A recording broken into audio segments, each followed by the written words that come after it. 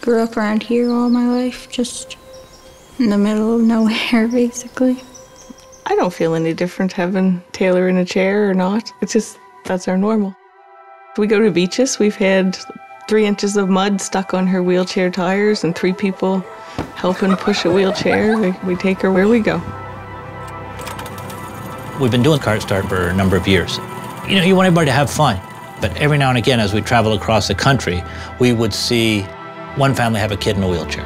It really started to, to eat at me that they couldn't participate with everybody else. We had to have a way that they would be included in the group. We came up with this idea for an accessible kart. So you can drive it with your feet or you can drive it with the hand controls. Anybody can drive it. And that's the whole idea behind it. Come on, girls, you ready? I think Taylor was a little nervous at first to sign up to do this.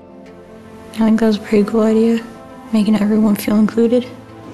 We know that this is a way to include more people, that's all it is. That's the cool thing about Toyota. They really wanted this accessible kart to become a reality. Welcome to kartSTART. How you doing? I was pretty nervous at the start because I didn't really know how to move a go kart. But then they showed me everything and I just got right into it.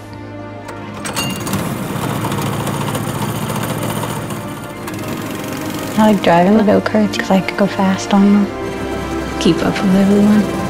I knew once she got there, she'd be in her comfort zone. Felt cool fitting in with everyone else. When I saw the accessible kart go the first time with a kid in it was living with a disability that really needed that go-kart. They weren't driving anything else. To see them do that first lap was something really amazing. And then you see it clicks in their head, I'm doing something that I never thought I would be able to do. It's great.